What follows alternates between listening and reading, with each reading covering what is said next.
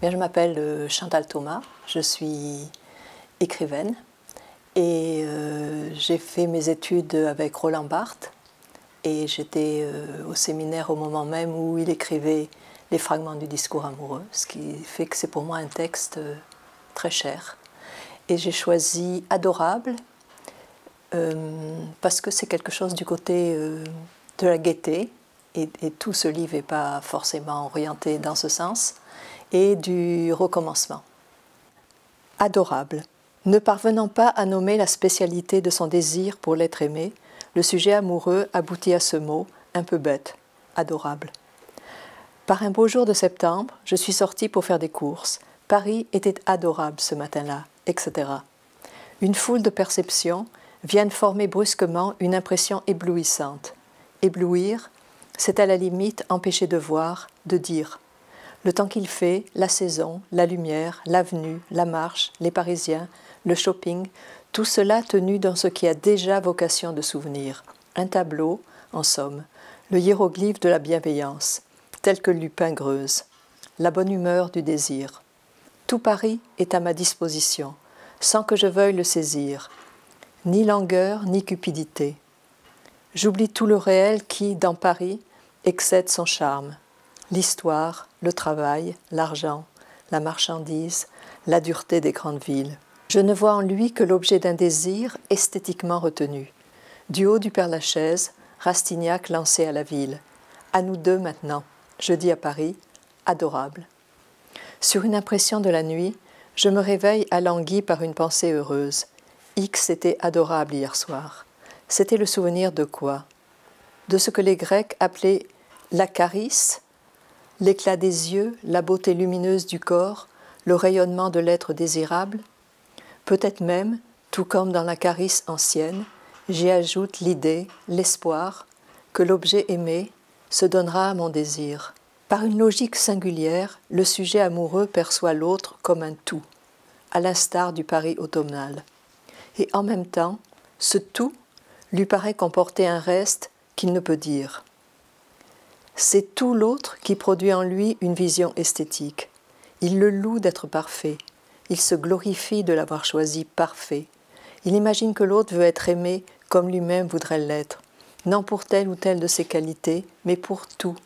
Et ce tout, il le lui accorde sous la forme d'un mot vide, car tout ne pourrait s'inventorier sans se diminuer. Dans adorable, aucune qualité ne vient se loger mais seulement le tout de l'affect. Cependant, en même temps qu'adorable dit tout, il dit aussi ce qui manque au tout. Il veut désigner ce lieu de l'autre où vient s'accrocher spécialement mon désir. Mais ce lieu n'est pas désignable. De lui je ne saurai jamais rien. Mon langage tâtonnera, bégaiera toujours pour essayer de le dire.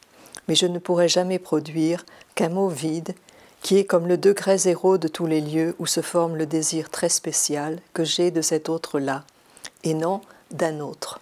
Je rencontre dans ma vie des millions de corps. De ces millions, je puis en désirer des centaines, mais de ces centaines, je n'en aime qu'un. L'autre dont je suis amoureux me désigne la spécialité de mon désir. Ce choix, si rigoureux qu'il ne retient que l'unique, fait, dit-on, la différence du transfert analytique et du transfert amoureux. L'un est universel, l'autre est spécifique. Il a fallu beaucoup de hasard, beaucoup de coïncidences surprenantes et peut-être beaucoup de recherches pour que je trouve l'image qui, entre mille, convient à mon désir.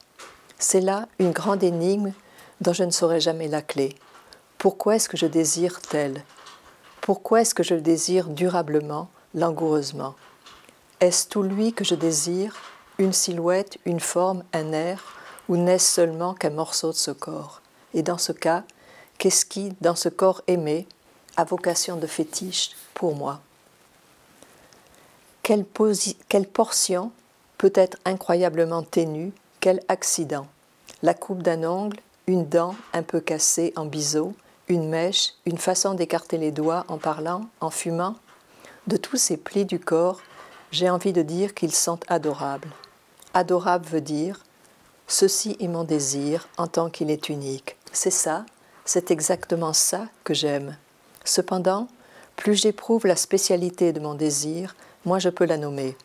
À la précision de la cible correspond un tremblement du nom. Le propre du désir ne peut produire qu'un impropre de l'énoncé.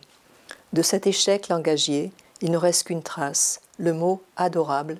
La bonne traduction de adorable serait lipsé, latin. C'est lui, c'est bien lui en personne. Adorable est la trace futile d'une fatigue, qui est la fatigue du langage. De mot en mot, je m'épuise à dire autrement le même de mon image, improprement le propre de mon désir. Voyage au terme duquel ma dernière philosophie ne peut être que de reconnaître et de pratiquer la tautologie. Est adorable ce qui est adorable. Ou encore, je t'adore parce que tu es adorable. Je t'aime parce que je t'aime. Ce qui clôt ainsi le langage amoureux, c'est cela même qui l'a institué, la fascination. Car décrire la fascination, cela ne peut jamais, en fin de compte, excéder cet énoncé. Je suis fasciné. Ayant atteint le bout du langage, là où il ne peut que répéter son dernier mot, à la façon d'un disque enrayé, je me saoule de son affirmation. La tautologie n'est-elle pas cet état inouï où se retrouve toute valeur mêlée, la fin glorieuse de l'opération logique, l'obscène de la bêtise et l'explosion du oui nietzschéen